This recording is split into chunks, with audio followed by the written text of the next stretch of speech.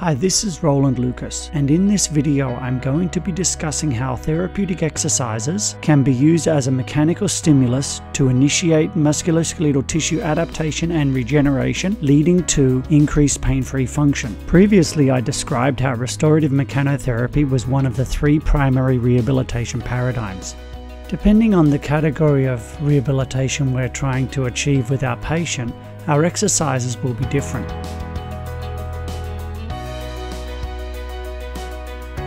For example, in a patient with chronic rotator cuff tendinopathy, there are many options for exercise based treatment.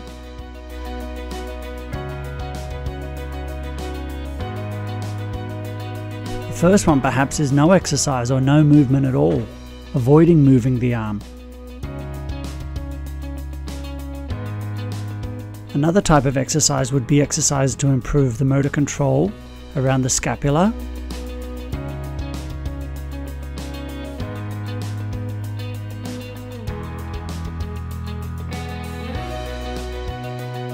And a third commonly used exercise would be resistance training for the rotator cuff.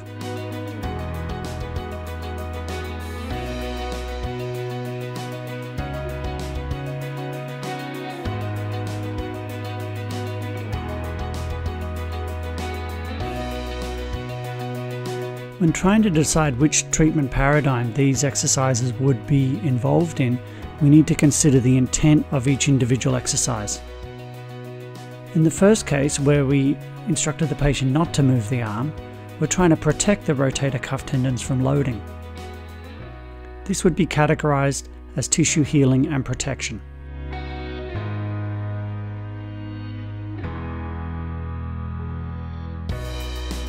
When focusing on improving the motor control of the serratus anterior, our intent is biomechanical optimization.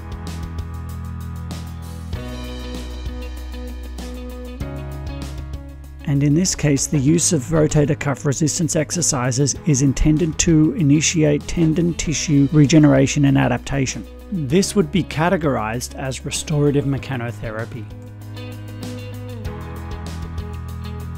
Keep in mind that there is overlap among the treatment paradigms, so one treatment may participate in more than one category. For example, increased rotator cuff strength may improve shoulder biomechanics, To further explore the role of exercises in restorative mechanotherapy, we're going to look at some commonly used exercises for the patellofemoral joint. Resisted clamshells, loaded 80-20 squat, and resisted leg extension. Clamshells are considered biomechanical optimization only, and the leg extension is restorative mechanotherapy only, whereas the 80-20 squat is both. For an exercise to initiate musculoskeletal tissue adaptation and or regeneration, there are a few characteristics.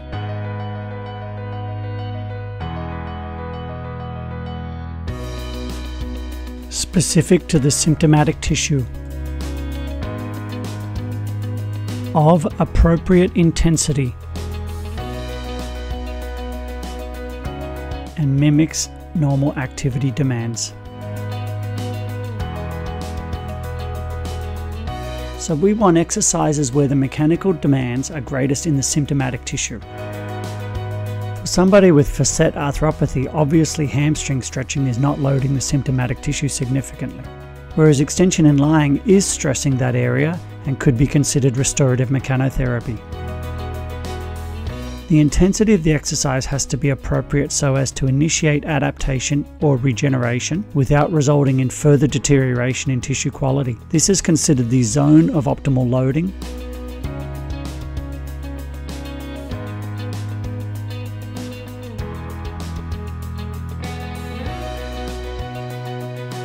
And lastly, we want the type of loading, whether it be tension, compression, or torsion, to be similar to that which the tissue is normally exposed to in everyday activity.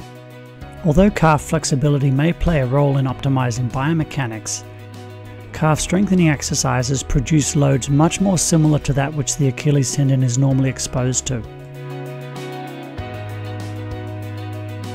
So in summary, we need exercises that target the symptomatic tissue.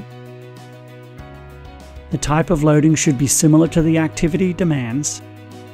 Simple isolated exercises are often effective.